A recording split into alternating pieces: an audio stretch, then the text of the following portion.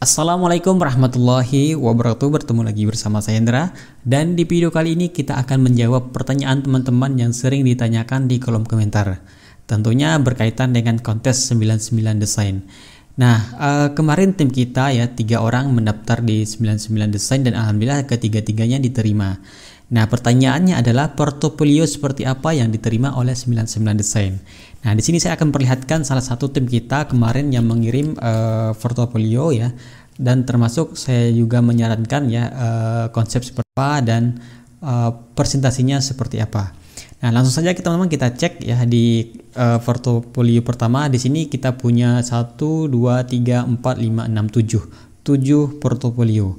Nah, kita klik yang satu dulu di sini, kita lihat seperti apa. Nah, di sini adalah uh, sederhana teman-teman ya, sebenarnya sederhana. Tampilannya seperti ini ya, yaitu presentasi tentang uh, logo Jakarta Amanah. Nah, ini dari teman kita namanya Bang Ibnu Muslimin ya.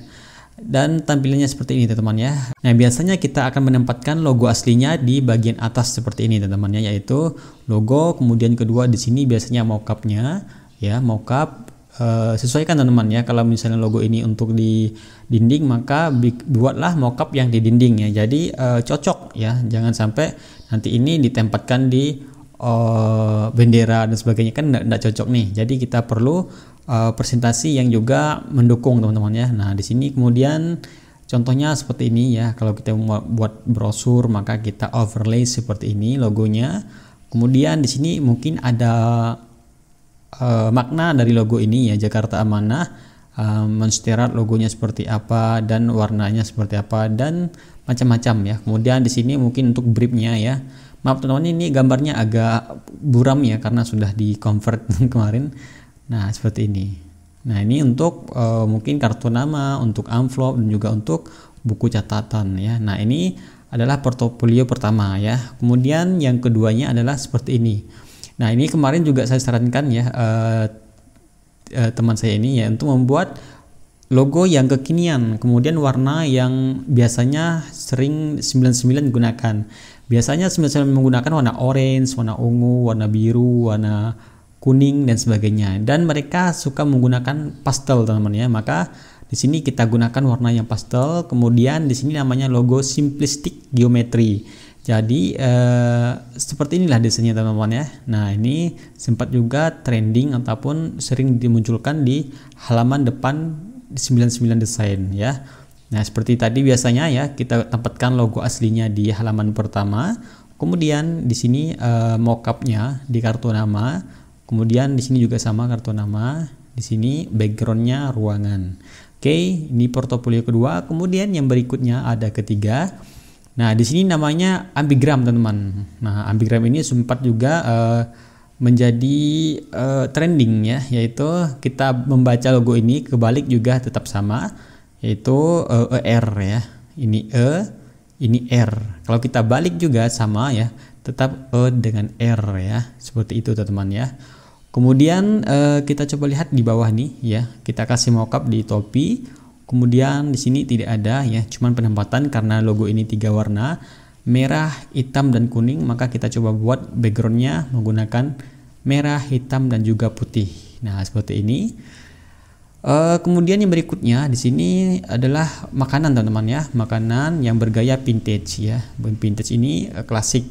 Jadi tadi lengkap teman-teman ya, ada yang modern, ada yang klasik, kemudian ada yang vintage seperti ini ya. Nah, kalau gaya-gaya seperti ini adalah uh, gaya yang suka saya ikuti kontes-kontes seperti ini teman-teman ya. Itu membuat logo bergaya-gaya klasik ya. Nah, seperti ini. Oke, kalau lebih mantapnya lagi ini biasanya kita buat menu ya, di menu ataupun di mockupnya yang ada di plank ataupun neon box ya. Oke, kita lanjut yang ke berapa nih? Yang keempat ya.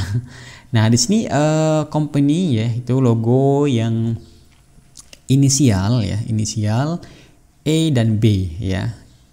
E dan B. Kemudian ini F dan B juga bisa nih ya.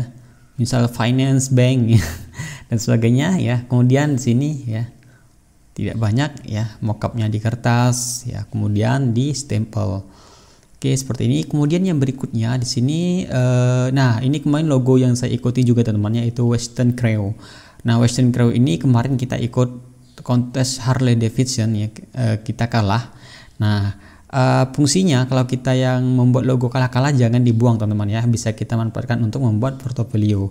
Dan alhamdulillah saya akan persiapkan uh, untuk membuat akun baru ya, akun baru untuk langsung diterima kalau bisa minimal langsung ke mid level ya.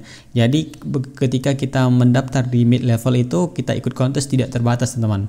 Mau sebulan 100 kali 1000 kali itu terserah. Kalau kita masih entry level maka satu bulan kita hanya mendapatkan uh, jatah 15 kali kontes ya. Itu di rolling. Nah, di sini saya akan persiapkan teman-teman ya uh, di uh, logo baru ya nanti kita akan coba membuat portofolio lebih lengkap lagi. Nah, Kemudian di sini juga inisial ya, oh, monogram ya.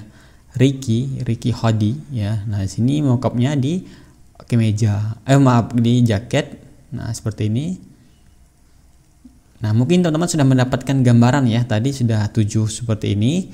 Nah, sekarang saya mempersiapkan beberapa uh, portofolio baru teman-teman untuk ini. Nah, saya mempersiapkan portofolio baru untuk logo-logo yang memang bergaya-gaya agak rumit ya ilustrasi ya. Saya membuat beberapa uh, portofolio untuk ilustrasi untuk mendaftarkan di 99 desain ya.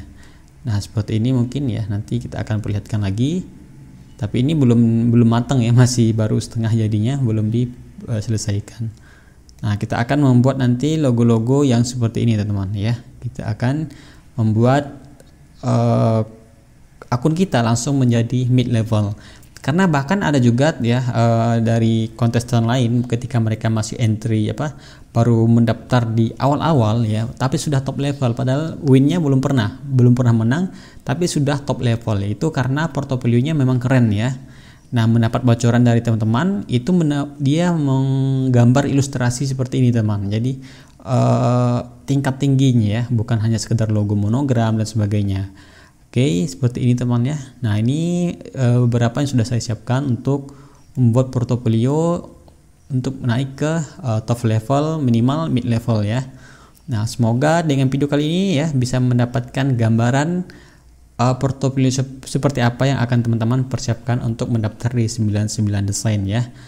Nah, mungkin di video sebenarnya ini semoga bermanfaat dan saya Hendra mengucapkan wassalamualaikum warahmatullahi wabarakatuh.